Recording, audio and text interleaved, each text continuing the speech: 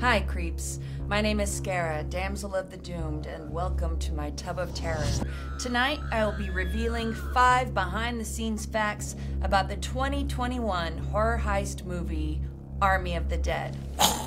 And I'll do so rather quickly because these bubbles won't last forever.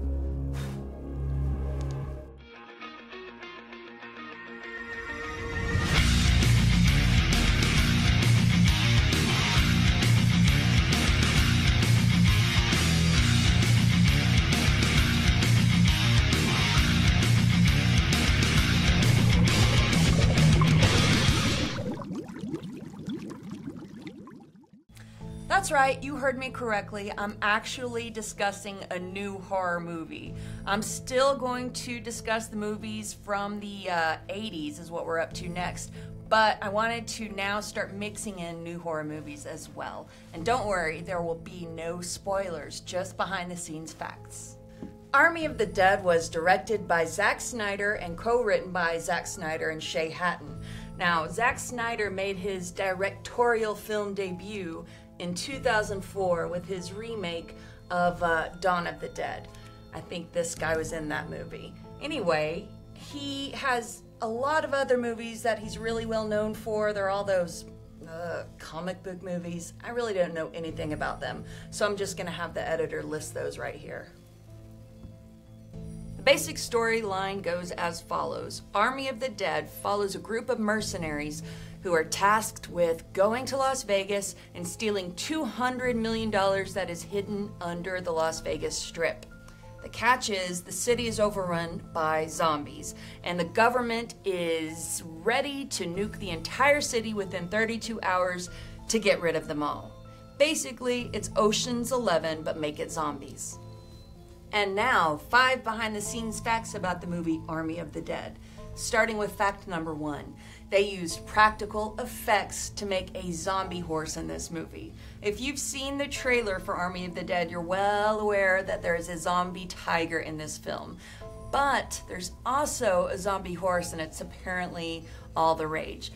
Artist Gabe Bartalos made a nylon suit that an actual horse wears in the movie. They put the suit on the horse and then they applied things to it to make it look like a zombie. He did the same thing 20 years ago in Cremaster 3, but back then he used a rubber suit. And apparently, this nylon suit is bad ass. Fact number two there's two types of zombies in this film the alphas and the shamblers. Now, the alphas are fast and they're intelligent.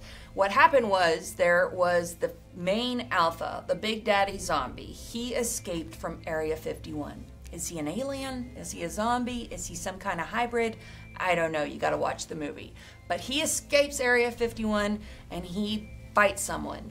When the main alpha bites someone, that person becomes an alpha zombie. So he bites a few more people and they're alphas. Now, when the alphas bite someone, oops, I lost one. When the alphas bite someone, they become a shambler.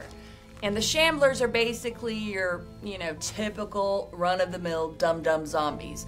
I'm not naming any names, but we've seen a lot of them in most of the horror movies uh, up to date. It's okay. I think I'm kind of dumb. So, alphas, shamblers.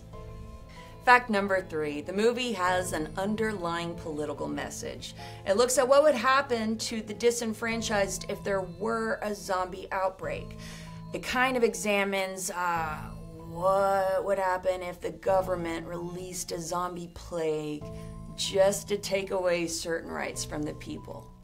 Now, don't get it twisted, this movie was written well over 10 years ago way before the COVID 19 pandemic, so there is no connection there. But I know how you conspiracy theorists work. You're gonna make this into something, aren't you? It's gonna be a whole thing. You're gonna act like it's a connection, like it's some kind of hidden sign. Maybe it's QAnon, I don't know. Trust me, it's not. Put your mask on.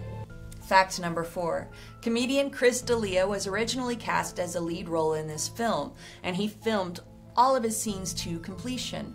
But then in June 2020, a bunch of women came out and said Chris D'Elia did some real creepy shit. They accused him of sexual misconduct.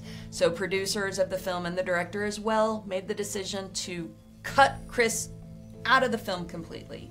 They replaced him with comedian Tig Notaro. She had to do her scenes in front of a green screen with an acting partner. Hopefully, all of that turns out okay. Fact number five this movie took over 10 years to come to fruition. Basically, it was announced in 2007. A script had been written, Universal and Warner Brothers scooped up the rights, but then they sat it in developmental hell for a number of years until 2019 when Netflix swooped in and picked it up. They also picked up director Zack Snyder at that time. He read the script and he really wanted to make the script his own. So they had to wait longer. They hired uh, writer Shay Hatten to co write Zack Snyder's version of the script took a little bit and then finally they started making the movie which is now going to be available in May of 2021. Final thoughts. All signs point to Army of the Dead not being a traditional zombie film.